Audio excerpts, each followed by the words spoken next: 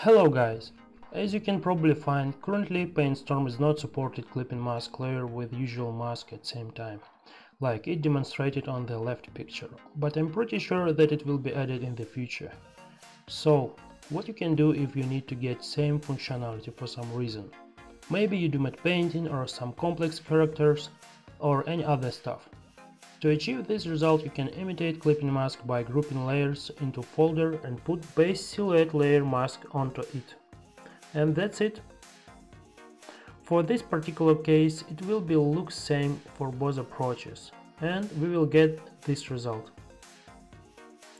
But this approach have one cons. It's not interactive. For example, if you decided to change base silhouette layer, you should update mask manually. At first I recorded a bit longer explanation, but then decided that simple schematic picture will be better to understand. Next few minutes will be just simple demonstration examples, firstly in Photoshop, then in PaintStorm. So if you catch the idea, you have no need to watch further. For instance, you have some character or any kind of complex stuff. In our case, it will be simple cube. I specially purposely did one side of the cube with this weird distortion, to show that usually objects have not so simple silhouettes. Otherwise, we can easily replace clipping masks by transform tools actions. So in Photoshop, you usually add mask on clipping mask and get what you want.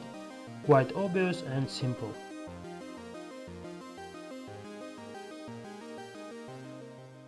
Now let's go to the PaintStorm. I did some few clipping mask layers.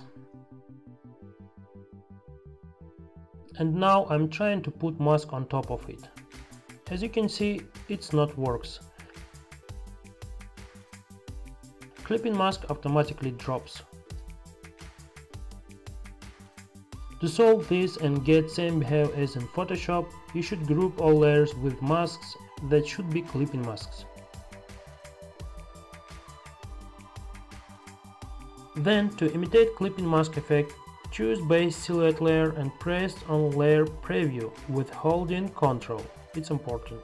Then create mask on folder and you will get perfectly clipping mask effect. Same if you did it with clipping mask technique.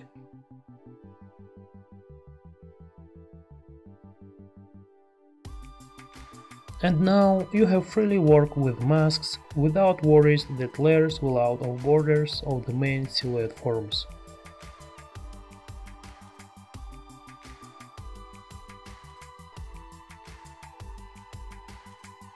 And before ending I decided to show you only one weak point of this approach.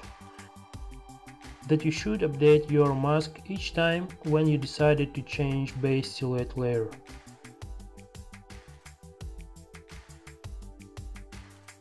So I hope it was helpful for you and see you next time.